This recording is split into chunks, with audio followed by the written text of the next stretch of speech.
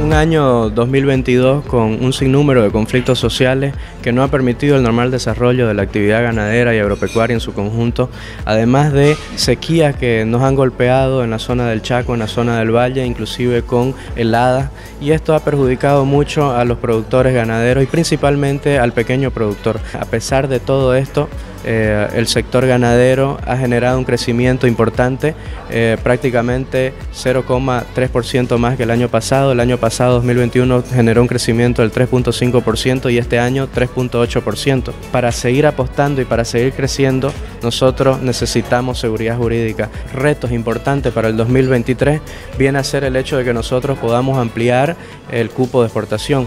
Son cerca de 80.000 toneladas que tenemos excedentarias y solamente 20.000 están habilitadas, ya que la actividad agropecuaria actualmente eh, le da de comer a prácticamente el 70% de la población y eh, tenemos potencial para poder producir más y poder exportar eh, los excedentes. Entonces, creemos que políticas de Estado y políticas institucionales en beneficio del desarrollo del sector ganadero son importantes poder consolidar en el año 2023. El sector ganadero, no solamente de carne, sino también de leche, es un sector que evidentemente no puede parar.